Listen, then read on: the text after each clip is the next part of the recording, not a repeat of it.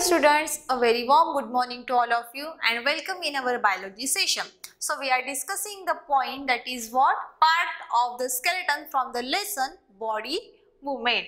From the part of the skeleton already we have discussed about the skull, backbone and rib cage. So today we will move for the next part of the skeleton that is what limbs. So skeleton consists of two pairs of limbs. There are the two pairs of limbs are present in the skeleton that are four limbs or also it is called as what?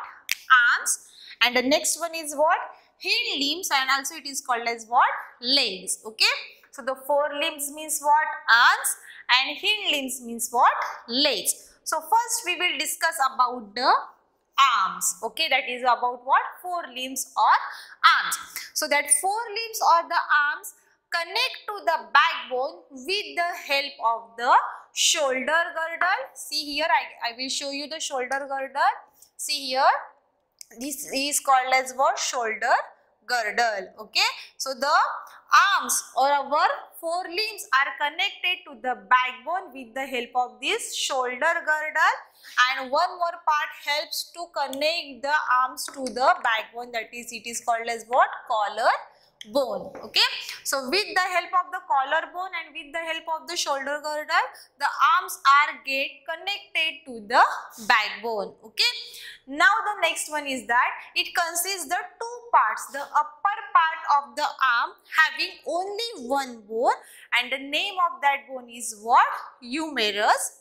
While the lower portion of the arms consists two bone it is formed with the help of the two bones that is what tibia and ulna. This bigger one bone it is called as what tibia while this smaller one bone called as what ulna. Okay. Upper part is having only one bone and the name of that bone is what humerus while this lower portion of the arms are having two bones which are tibia and ulna. Next one in our wrist there are the eight bones and they are called as what carpals. It is called as what? Carpals. Our wrist is made up of eight bones and that bones are called as carpals. While our palm, our palm is made up of five bones and they are called as what? Metacarpals. They are called as metacarpal. Okay, see here our palm is made up of what? Five bones and they are called as metacarpal. And our finger consists or our finger is having each finger is having three bones. In each finger there are three bones while in the thumb there are only two bones okay? So in this way this is the whole four limbs. Both the forelimbs are having the same structure and same number of the bones. The forelimbs or the arms are connected to the spine or the backbone with the help of the shoulder girdle and collarbone if the upper part of the arm is called as humerus, the lower part consists the two bones that are tibia and ulna. Wrist are having eight bones which is which are called as carpals. Palms get made with the help of the five bones. They are called as metacarpals.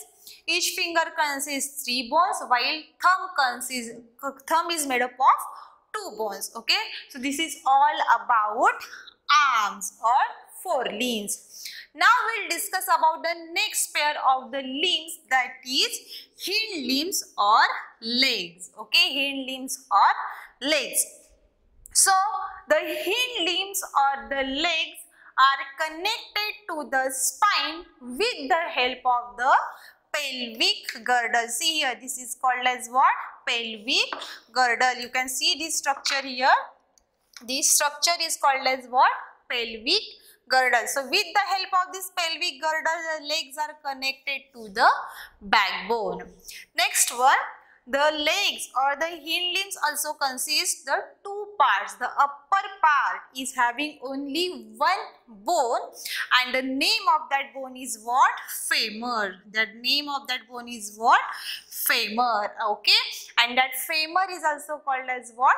thigh bone and very important thing about the femur is that it is the longest bone present in the human body okay which is the longest bone present in the human body that is what femur next one the lower portion of the hind limbs again consists the two bones. There are the two bones present in the lower portion of the limbs and the names of that bones are what? Here you can see the bigger one bone it is what? Tibia and the smaller one it is called as what? Fibula. Okay, the larger one it is called as what? Tibia and the smaller one it is called as what? Fibula. So in this way this is the structure of the hind limbs and the forelimbs. The forelimbs are connected to the backbone with the help of the shoulder girdle while the hind limbs are connected to the backbone with the help of the pelvic girdle. Okay? So in this way with the help of these different bones our whole body is get made now the last point we will discuss as the last part of the skeleton that is what girdles so just now we have seen that we have discussed so there are the two pair there there are two girdles present in human body or there are the two girdles present in the skeleton. First one is shoulder girdle and next one is what? Pelvic girdle. Shoulder girdle helps to connect the forelimbs or arms to the spine or backbone while pelvic girdle helps to connect or helps to join the hind limbs or legs to the backbone okay? So in this way this is about what? Girdles. And like that we have discussed all the parts of the skeleton. We have seen about skull backbone or spine rib cage. Also we have discussed about the limbs and girdles okay so here we will stop. We will meet in the next video with the next point. And for today thank you